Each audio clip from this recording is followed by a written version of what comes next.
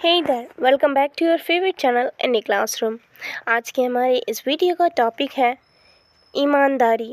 Video में हम जानेंगे इसका मतलब इंग्लिश में क्या होता है और इसी के रिलेटेड सेंटेंस भी देखेंगे वीडियो स्टार्ट करने से पहले आप सभी से एक छोटी सी रिक्वेस्ट है। जो चैनल पर नए आए हैं प्लीज़ चैनल को सब्सक्राइब कर लें। साथ ही साथ बेल आइकन को भी दबाएँ ताकि सारी वीडियो आप तक पहुँचे। ईमानदारी जो वर्ड है, इसे हम इंग्लिश में कहेंगे हॉनेस्टी राइटनेस हॉनेस्टी राइटियसनेस मतलब कि ईमानदार या ईमानदारी। सेंटेंस देखिए, ईमानदारी के रिलेट सेंटेंस है। उनकी दयालुता और ईमानदारी के लिए उन्हें, उनकी प्रशंसा की जाती है। She is admire for her kindness and honesty मतलब कि उसको हर इंसान पसंद करते हैं उसकी काइंडनेस और उसकी हॉनेस्टी की वजह से।